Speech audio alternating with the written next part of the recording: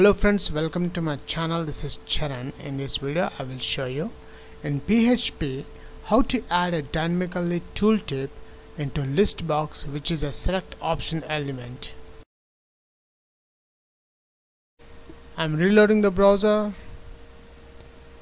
Now I'm placing the cursor on Hyderabad notice we got the tooltip Hyderabad Bangalore Brisbane Sydney.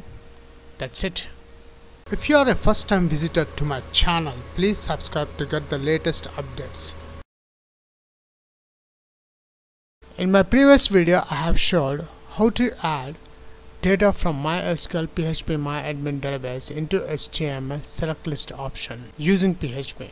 Now in this video i will show you i want to add the dynamically tooltip on the list box elements. Suppose when i mouse over on a bangalore I want to display a tooltip with the Bangalore. So let's start the coding part. This is the code we have just seen the output on the browser.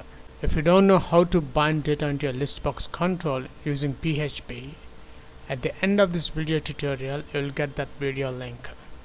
Now let's add a tooltip and the select element notice there is an option in the while loop this option contains the property value.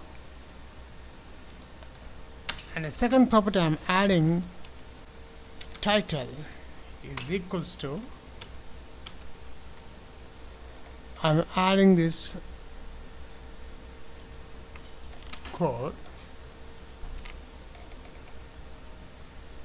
and notice here the city name which is a column name of this city table let's save this file.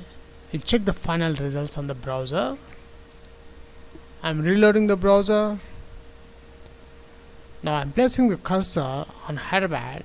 Notice we got the tooltip Hyderabad Bangalore Brisbane Sydney. That's it